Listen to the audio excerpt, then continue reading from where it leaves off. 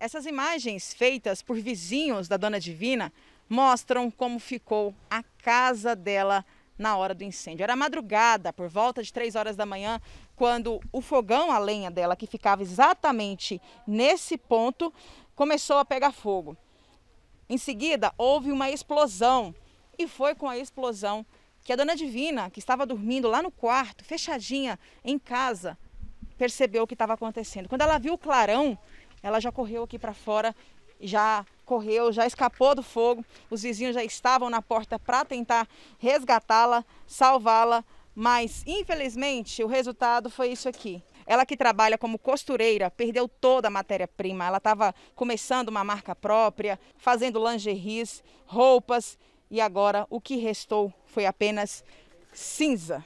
O que já era difícil ficou ainda pior. Com certeza, muito pior. Porque com o meu trabalho eu tinha o sonho de conquistar minha casa própria, é, o sonho de ajudar a cuidar do meu neto. É, eu tenho oito, nove netos, mas ele em especial porque ele sofre de distrofia muscular de Duchenne. E eu tinha muita vontade, eu tenho ainda, de ajudar a cuidar dele e com a ajuda das pessoas eu vou começar de novo, eu não vou desistir. Ô, dona Divina, eu vejo aqui máquinas queimadas. A senhora tinha quantas? Eu tinha oito máquinas. Queimou oito... tudo? Tudo, não Todas queimadas? Nada. Todas. E aí, como é que fica agora a situação? Como é que a senhora vai fazer?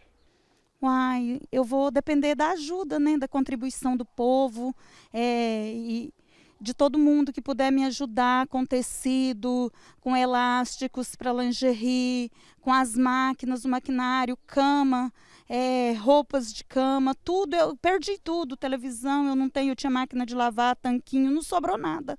Então, se você aí de casa pode ajudar a Dona Divina, ela está aqui no setor Aeroporto Sul, em Aparecida de Goiânia. O telefone está na tela, o endereço está na tela também.